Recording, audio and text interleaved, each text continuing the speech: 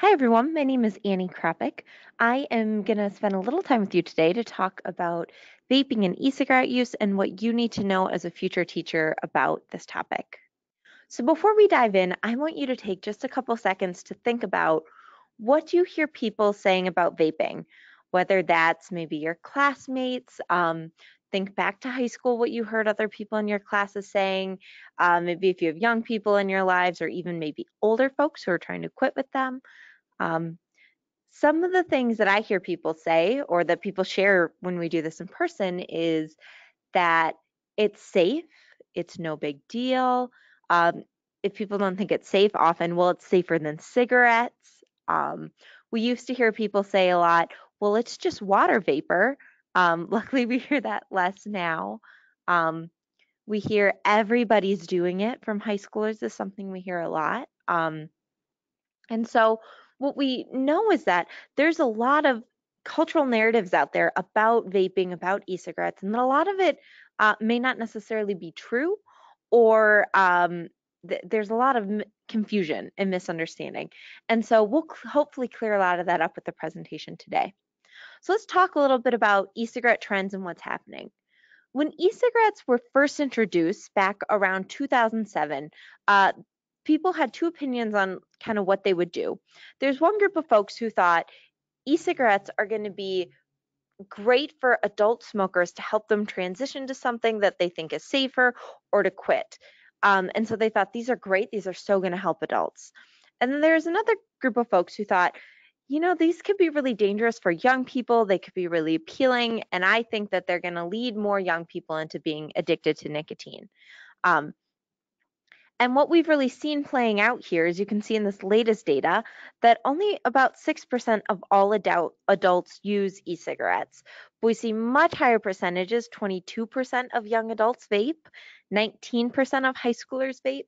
And so what we can see is that that first idea of like, oh, well, lots of older folks, you know, established adult smokers will vape is not necessarily playing out, but those fears around young people vaping really is what's happening. And so it's probably not surprising to you. I'm guessing a lot of you were in high schools recently, either through teaching experiences or, you know, as students. E-cigarettes are now the most popular form of tobacco use in Minnesota high schools and middle schools. Um, they're more than twice as popular as cigarettes. Um, 19% of students report vaping, but what we know is that when we asked that question, um, we didn't always get the wording just right, and so the number might actually be higher than that. So it's certainly a startling amount of high schoolers who are vaping. It's a concerning amount, but it's also not quote unquote everybody, like we hear some people say. And so when we know about young people when they think everybody else is doing something, sometimes they'll be more likely to do it too.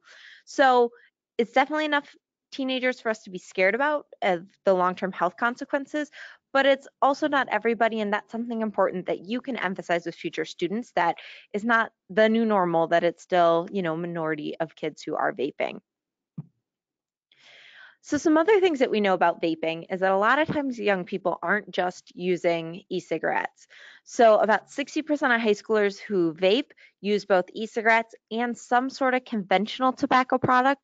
So that's anything tobacco product you'd set on fire, like cigarettes, cigars, and flavored cigars, cigarillos, uh, hookah. So we see a lot of crossover between vapes and these other forms of tobacco that we know have a lot of very serious health consequences. And of course, you probably also know that nicotine is not the only thing you can put in a vape. So we see that 35% of high schoolers who vape e cigarettes are also vaping cannabis. So we see a lot of crossover there as well. But the bottom line is that what we've seen and what research really shows us is over the past mm, five or six years, especially, the e cigarettes have been a gateway into tobacco use and nicotine addiction for young people. That um, that's what is playing out. Though it's not necessarily uh, concentrated in older folks like people at one point wanted it to be, but it is young people getting addicted. And we also see that um, adolescents across the board are being hooked by nicotine.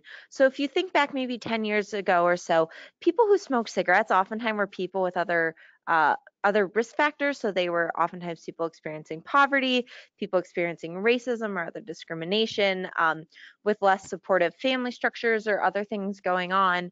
Um, and now what we see is across the board, young people are experimenting with vaping, and then it's not necessarily that same group of folks.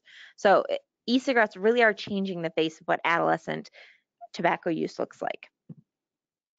Um, but how do we get here to this point where 20% or probably many more of our high schoolers are vaping? Well, before we talk about the development of e-cigarettes, I just want to point out that no matter what e-cigarettes look like, they all work the same way. So all e-cigarettes have a battery. Most now are rechargeable with things like Juuls and Suorins and others, but there are still some, and in the past there have been disposable batteries. Um, some e-cigarettes have a button. Most now are um, can automatically tell when you start to inhale. What happens is when you inhale or when you press the button, the battery turns on. That battery heats up the heating element you can see in the middle of the e-cigarette there, which is in the nicotine liquid chamber. And so that heating element is touching the liquid nicotine in there and heats up that as well.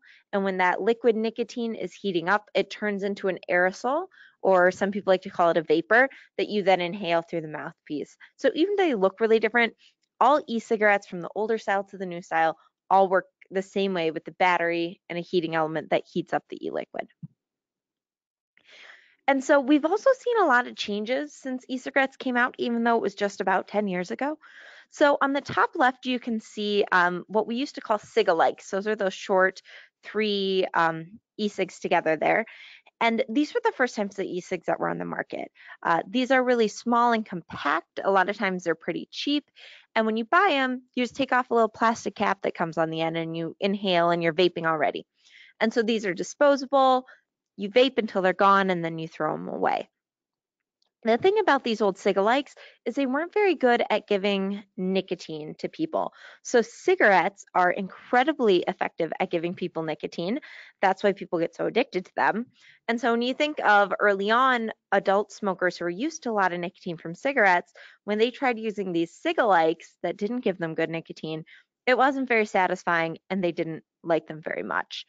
And so that's where we really quickly saw the development of what we call vape pens and mods. So the red uh, e-cig on the left-hand side is a vape pen. The black and purple one is more of a mod.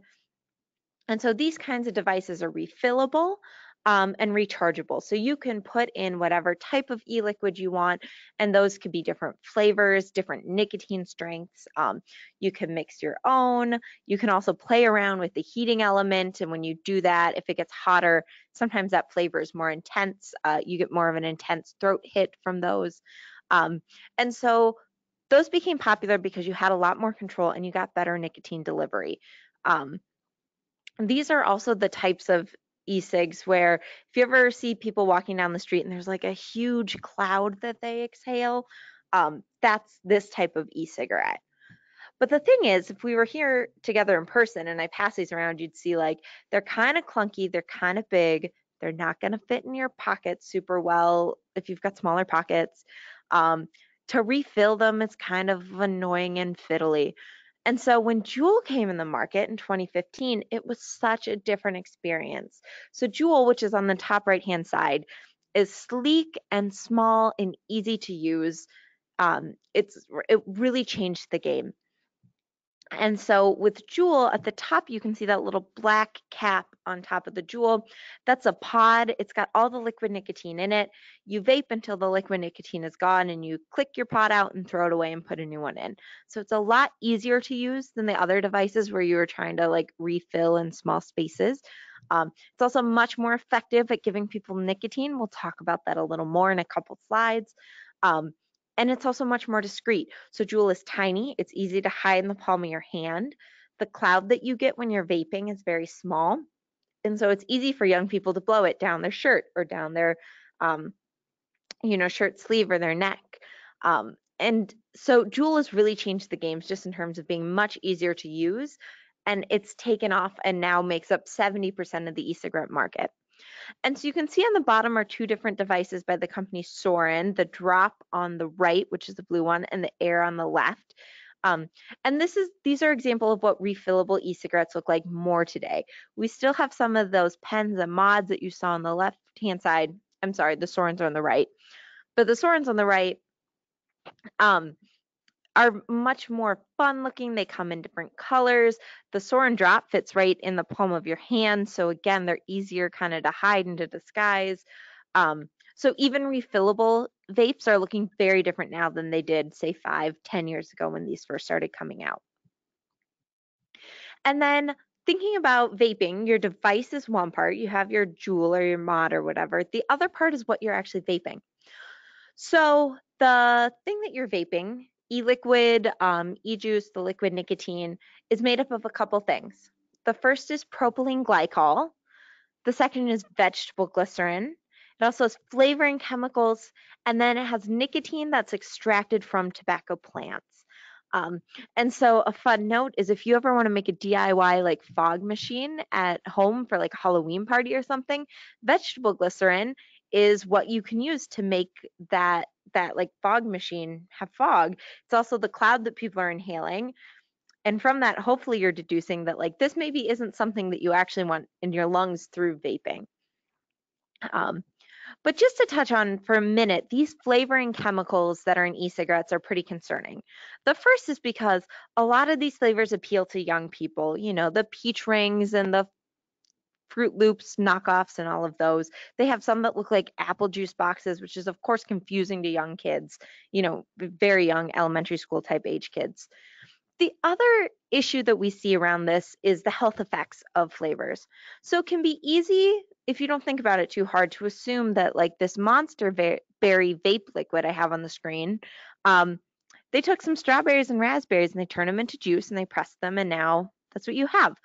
But this isn't, these are all flavoring chemicals. They aren't beautiful organic berries picked from the field. And so these are chemicals that are meant to taste like food products. And oftentimes these are deemed safe by the Food and Drug Administration for people to eat, but they aren't safe necessarily for people to heat up and inhale. So if you remember a basic science class, when you, you heat things up, oftentimes they can they can change, the chemical properties can change. And then breathing them into your lungs is very different than what it is of eating them. So a little story for you um, is actually around a flavor that's used oftentimes that has like a buttery or a creamy flavor. Um, it's called diacetyl. And so diacetyl actually used to be what we used to flavor the buttery flavor for microwave popcorns. But what happened is in those popcorn factories, workers started getting sick. They had really bad respiratory and lung conditions. People were having a hard time breathing, and the doctors couldn't quite figure it out. Well, with a little digging, what they learned is that diacetyl, that buttery flavoring they were using in the popcorn factories, when it got heated up in the factory and workers were inhaling it, it was actually giving them something called bronchiolitis obliterans, which is awful for your lungs. There's no treatment. If it gets bad enough, the only thing that you can do to treat it is a lung plant transplant. So it's super serious. And what we saw is that these factory workers were getting it through the diacetyl that's being heated up and inhaled. That's why we call the condition commonly popcorn lung. You might have heard of it before. So early on, especially in e-cigarettes, it happens less now, but these e-liquids, oftentimes people used diacetyl to give them the buttery or creamy flavor. So even though we know that the process of heating up and inhaling, which is exactly what happens when you vape, can give you this irreversible, awful lung disease, people were still putting this flavor into their e-liquids. And so this happens a little less today with diacetyl. It can still be in these. Um, but there's thousands of other flavoring chemicals that are being used in these, and we just don't know what the long-term health outcomes of all of the, these are. But we do know that some of them seem to have health impacts and that these flavors themselves are a real problem in terms of people's like lung and heart health. So let's talk just a little bit about the health risks of nicotine and then we'll chat more about Juul and the health impacts of vaping generally. So nicotine is a really powerful drug. If you think of other drugs and how they addict people, nicotine does the same thing. So when you inhale nicotine from either an e-cigarette or a cigarette, it goes into your lungs and that very quickly transfers into your bloodstream and makes it up to your brain in about 10 seconds. And when that nicotine gets to your brain, it latches on to these nicotinic receptors and it releases dopamine. And I bet if you think back to some of your other classes, you'll know that dopamine makes you feel really good. So you get nicotine within 10 seconds, your brain feels great. You some people feel kind of like a high buzzy feeling, some people feel really calm, but generally people like the feeling. The problem is your brain really quickly wants more nicotine. So it will need more nicotine to have that same feeling, that same feeling of feeling good. Um, and it also quickly becomes that your brain doesn't know how to feel good when nicotine's not in anymore. And so nicotine is really powerful, especially with young people. They can get hooked very quickly because their brains are still developing and, you know, their physically brains can change more quickly when you're younger. Young people become addicted to nicotine very quickly. Um, and then you're you're hooked. Your brain needs that nicotine to feel good.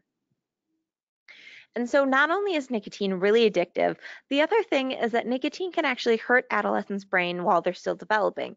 So young people who are exposed to nicotine can have long-term issues with learning, memory, and attention. And those are skills that are really important no matter what you want to go on to do in your future life. Not to mention important to be successful in these classrooms you're going to be trying to manage later on.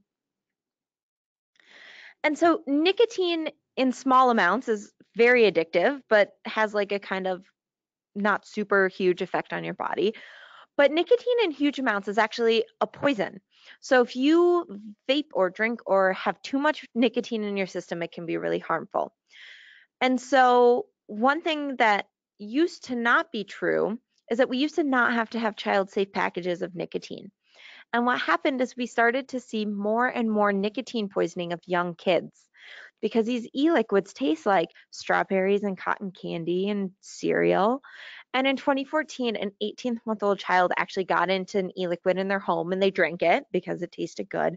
And they ended up dying, which was incredibly tragic. And so after that, we've had to have safety caps on e liquids, which has been a really good step. But sometimes kids are resourceful and they can get around it. And kids and pets, can, when they get this, can be very, very sick, require hospitalization and many other um, interventions. And then the other thing we've started to see is now that we have higher nicotine e liquids like Juul, we also see young people who can get really mild to sometimes moderate nicotine poisoning from just vaping too much. And so a lot of times kids will call this being nick sick. Um, you can get a headache, nausea, your heart can race, you can breathe really quickly. It doesn't feel good. It's very uncomfortable. Um, and so a lot of times young people who are vaping too much will give themselves mild nicotine poisoning um, just by having too much. So when people sometimes compare nicotine to coffee and they're like, it's no big deal, like it's just like coffee. That's not actually true. Nicotine can be fairly toxic and is much more addicting. So um, nicotine isn't harmless in the way that sometimes it's mischaracterized as. So some of you will know the answer to this question right away, um, and others you may not. But when we think about how much nicotine is in one Juul pod, which are super tiny, they're like the size of a nickel, they're very small. Um, in that one little Juul pod, there's as much nicotine as an entire pack of cigarettes. It's a huge amount of nicotine in there. And what happened, and part of the reason why Juul is so popular, is that Juul figured out a whole new way to deliver nicotine. It's called nicotine salts, and it has to do with the way that they extract tobacco or nicotine from tobacco plants. Um, and so Juul's been very successful at extracting this nicotine, which makes it both more available to people, so your body is more able to pick it up. You can see here that the orange spike is that quick spike in nicotine you get when you smoke from a cigarette. Like I talked about, takes 10 seconds, you get a big rush. People think, you know, that feels really good in the body short term. Well, that pink line is Juul. So Juul also gives you that quick spike in nicotine and it feels, you know, you get that rush of nicotine. Unlike the blue line, which is many other brands where like you don't get that spike. Um, and that rush is a big part of why it's addictive. So one thing that Juul does is it makes that nicotine more available, you get that big rush. The other thing about Juul is that Um, nicotine salts aren't harsh on your throat in the way that older generations were.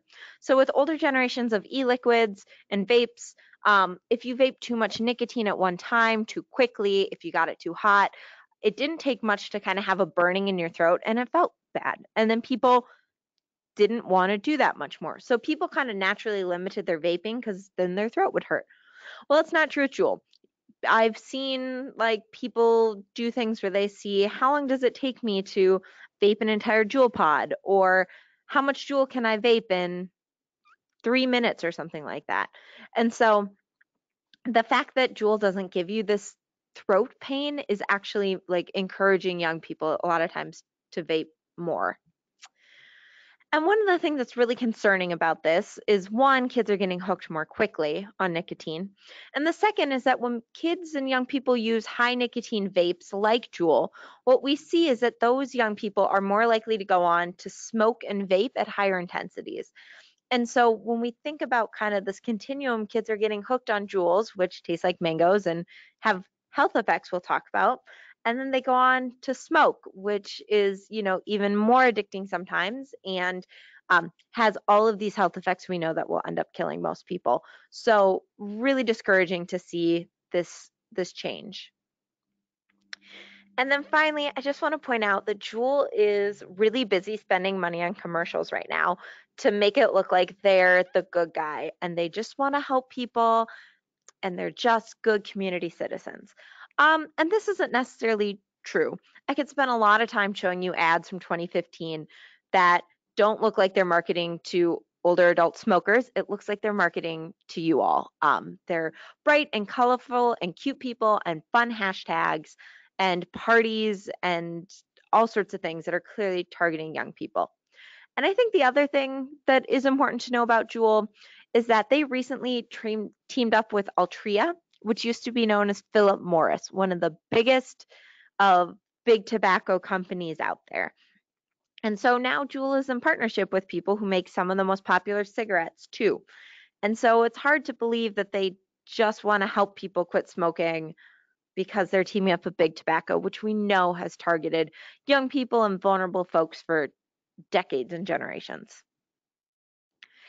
And I also just want to mention before we talk about some health effects here that there's really no meaningful regulation from the Food and Drug Administration or other folks on e-cigarettes right now, especially in terms of like what's in them. So a company could use diacetyl, which we know is very, very bad for your lungs, in their e-cigarettes, and that's just fine. There's no regulation on that whatsoever.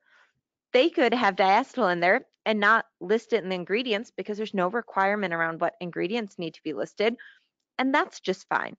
And so it's hard because young people maybe want to make decisions about like, oh, I don't want to vape something with diacetyl in it, but they can't know because the FDA and other government agencies really just aren't doing their job in regulating these and making sure that these things are um, not safe, but at least people have the information and that we're minimizing some of these harmful ingredients we know are very bad. So let's talk about the health risks. The one thing I want to point out before I tell you some specifics of what we're seeing is that I don't know everything, and nobody does right now. If you think about somebody who smokes, like within a few years, they'll start to maybe see some health effects, like maybe they'll have some shortness of breath or their teeth will yellow a little bit. But it usually takes someone who smokes like 10, 20 years of smoking before you start to see things like lung cancers and heart attacks and strokes, all those things we think about that end up killing people and being very severe. While e-cigarettes haven't been around for that long, we don't have long-term studies of people who are vaping for for that long, and so our research really can't tell us yet everything that's going to happen in the long term. But we do know a few things. One thing that's been in the news this week when I'm recording this, it'll be a little older by the time you see it, is that we've seen some cases of teens and young adults being hospitalized with serious lung damage um, who also vape. And so while we don't know the exact cause in it yet, uh, these people have had serious lung issues. Some of them have had to be um, intubated where they put a tube in your throat to help you breathe. Um, we've seen some really serious injuries of people's lungs. And so um, these are still pretty rare. It's not happening to everybody who vapes, but um, it, it's very scary for the people who are experiencing it. Um, and what research is showing us is that vaping can hurt your lungs by starting to kind of shut down some of the natural defense systems you have. So when you go about the world every day and you're breathing like pollutants like in the air when there's forest fires and the air quality is bad or when you're standing behind a bus, your lungs work hard to filter those things out and make sure that you aren't getting hurt. Um, but when you're vaping, it seems like your lungs are less able to filter that out. And we also see that people who vape have um, more illnesses more often, like bronchitis and coughing and wheezing and pneumonia. So we see some of those like respiratory diseases people are getting more often. And young people, especially with asthma, who vape have worse and more frequent asthma attacks than people who don't. And so I can't tell you what 20 years of vaping is going to do to your lungs, but what I can tell you is that it doesn't seem like your lungs love having this in there. And there's definitely some health effects, even in the short term, we're seeing that are pretty serious. Research also shows us that e cigarettes might be harmful to your heart and cardiovascular health. And so the details of this are kind of tricky and super medical. But at the end of the day, what we think we're seeing is that um, e cigarette vapor is changing your blood enzymes in some of the same way we see cigarettes doing, and that that's an early indicator of damage to your heart and your cardiovascular system. So there could definitely be some long-term impacts for heart health as well. And then e-cigarettes, when we used to hear people say, well, it's just water vapor, that is super untrue. So e-cigarette vapor has a lot of the same cancer-causing chemicals that are in cigarettes. And so a few things that we see in these is formaldehyde. If you think back to your high school science class, if you had to do dissection, that formaldehyde is used to preserve dead bodies in those dissections and also with you know humans. Um, and it's something that can give you cancer in your lungs and other places in your body. Um, we saw, see volatile organic compounds which are bad for you. Um, they can hurt, hurt your stomach your liver your lungs your heart. They can impact your entire body. Um, we see heavy metals that are in these there's a, a specific thing chemical called NNN that in cigarettes, what we know is it causes um, a lot of the cancers you see of the throat and the mouth, and that that same chemical is actually found in the saliva of people who vape. So we could definitely see years from now, it wouldn't be surprising, young people who vape who have oral cancers and throat cancers, which are pretty awful to treat. And then e-cigarette the nicotine can change brain development, but one of those heavy metals we see in e-cigarette vapor is actually lead. That heating element you might have remember from early on in these slides, it's like a little metal rod in the middle of the e-cigarette. Well, that actually leaches heavy metals like lead, and lead can have various serious impacts um, on brain development for young people as well as their whole health. So um, e-cigarettes aren't harmless. There's a lot of different ways that it looks like they're impacting the body. And even though we don't know what the long term health effects are, we can start educating young people now about what we know. And that when we give them this information, hopefully they can start to make better decisions about their own health. So, what are some of the messages we can share with young people to hopefully help prevent them from vaping? One thing we hear a lot is, especially among like high schoolers, a little less so among middle schoolers, is that they think that vaping helps them their stress. So high school is an incredibly stressful time, and a lot of people think that this is like a coping mechanism. Well, the truth is, when you become addicted to nicotine, when you go through that nicotine withdrawal, it actually is going to make the stress that people feel already feel worse. And so this is a great chance to tell talk with young people and share that vaping actually isn't going to help with their stress, it'll make it worse. And work with young people to figure out what are some other healthy coping skills that they could use to deal with the stress that they're feeling. Another thing to talk about with young people is the chemicals that are in e-cigarettes and the health impacts. And so research is starting to show us that young people are concerned about the chemicals that's in e-cigarettes and what's getting into their body. That's something a lot of young folks care about. And so to share with them there's formaldehyde in these. Um, there's these flavors aren't actually strawberries or whatever. These are chemicals that are aren't good for your lungs. To share that with people can be really helpful. Um, we also, a lot of the young people in Minnesota who are hospitalized with that severe lung damage, they told their doctor that they thought vaping was safe. They they didn't know that it could have these serious health impacts. And so we need to be sharing with young people that there are and can be serious health impacts from vaping. And then finally, research tells us that talking about addiction alone might not be enough to prevent young people from vaping. What we do know is that when you talk about addiction with young folks, you really need to explain what it means. And so instead of saying, like, don't do it, you'll get addicted, it's saying things like, well, people can become addicted really quickly. And that means that it'll be incredibly hard to stop, and that even when people try to stop, a lot of times they aren't able to. So, really spelling out what addiction means can be a helpful way to help young people understand the consequences of nicotine in e cigarettes.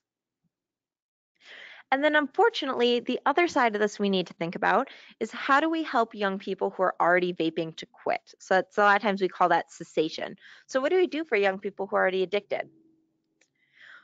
Well, one thing I'll tell you isn't going to work is just telling them to stop and thinking they will.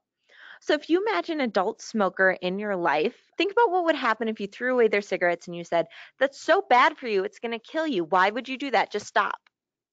Well, most of the time that doesn't work. Most of the time they don't stop and they go out and they buy another pack of cigarettes and they still smoke because they're addicted and their brain is telling them they need that nicotine. The same thing is true for young people who are addicted to nicotine through vaping. And so a lot of times we think that if we just like lecture them and tell them it's bad and take away their Juul, they'll stop vaping. But it's probably not going to work. There's more we need to do for young people who are addicted. So when your body goes through nicotine withdrawal, so when you're addicted to a Juul or other product with nicotine and you don't have it anymore, you go through withdrawal and it can be very uncomfortable. So you can have really bad cravings for nicotine. People can be anxious, they can have anxiety or be irritable. People can have, um, you know, a depressed mood, so feel depressed. People can have very serious headaches. It can be really hard to sleep. And so this can be really uncomfortable. And if a young person doesn't understand why it's happening or doesn't have the skills to cope with this uh, or support to cope with this, well, the easiest thing is to go back and take a hit of your Juul because you feel better afterwards. And so these symptoms are actually just a natural part of your body learning to feel good without nicotine. But in the meantime, for you know a week or a couple weeks more, they can be really uncomfortable. So sharing with young people that this is a normal process of their body finding a new equilibrium um, is a good way to help them know what's coming and be prepared instead of throwing them in the deep end and hoping they figure it out. Um, there's also a really great app out there called This is Quitting. So This is Quitting um, has resources for young people as young as 13 all the way to 24 years old. And there's a texting program that's really great. They also have a texting program for parents uh, whose young kids are vaping and they want to help quit. Um, they've got some online support as well. So this is a good tool that really meets young people where they're at um, and can be helpful in helping people who want to quit. And then finally, we need to think about like what are our school systems doing to help these young people? So some schools recently have chosen to suspend students because this is, you know, in a lot of schools like a violation of their drug and alcohol policy. Some schools are going as far as to expel students when they catch them. And what I'd really encourage you to do is think about not just how to punish students, but how do we help them quit? And so just expelling a kid probably isn't going to do that. So things that you can do is there when someone's caught vaping, instead of just expelling them, you could try doing a one-on-one meeting with the chemical health professional or other like school clinic staff. So having someone talk with them. Um, you could provide cessation resources. So things like that quitting program, counseling can be really effective. So the counselors in your school probably know how to do that. Uh, there's some other tools that people can use. So connecting them with those resources. Um, there's some education events. There's some community service. So what are ways we can help the student to quit instead of just punishing them when we catch them in school? Because if you think about it, for a young person who's very addicted, sitting through an entire school day trying to concentrate while going through nicotine addiction is or I'm sorry, nicotine withdrawal, it's going to be really hard. Like if they have a terrible headache and they're anxious and irritable and they just want nicotine, how are they going to concentrate through the whole lesson that you're teaching them and then through the whole school day? So we need to think not just about punishing students and telling them not to vape in school, while certainly those can be an appropriate part of a plan, but also thinking about how we can um, connect students with these resources and really support them in quitting so that they can be successful um, in having those healthy lives that we all want them to lead and they want to lead. And then finally, another thing we can do is educate students in school. So some schools have vaping as part of their health and other curriculums. Some schools don't. And it's really important that we start to educate young people that they have this information. So these are just a couple of examples of um, different resources and lesson plans you can look up later if you want to do this. Uh, the other thing I would encourage you to is not to think this is just the health teacher's job, right? So it's easy to be like, oh, they'll cover that. We don't need to talk about it. But if we can think about other ways to engage students in thinking critically about vaping, that's going to be really great. So we've heard of schools where like their science teachers are integrating this into the curriculum. So they're figuring out what chemicals are in there and they're doing some fun activities around those chemicals to start to think of it from a scientific perspective, right? Or you know, the marketing that Juul has used to hook young people and other has been really awful. So, you know, could there be room in your curriculum when you're thinking about kind of those cultural forces to talk about that targeted marketing that tobacco and other people do and why that's bad. So definitely think about how you can be a part of this because we don't want a whole generation of kids growing up who are addicted to nicotine and have probably serious health consequences from vaping and getting hooked when they're young the bottom line of all of this is to say that this is all super new. We don't have the answer yet of how to prevent kids from vaping or how to help young people stop, which you probably know and you've probably seen. So we're all going to have to keep figuring this out together. But one of the best things that we can do is not ignore it. So we can all start to try what we can to address this problem and then talk with each other to share solutions. And that's going to be one of the best ways that we can address this epidemic, of course, along with engaging youth and really letting them help us lead the way. So we don't have any questions today because we're online, but if you do have any questions about vaping, I'm always happy to be a resource. And I hope that you leave this presentation feeling more prepared to talk with young people in your life about vaping and to be part of the solution with us. Thank you.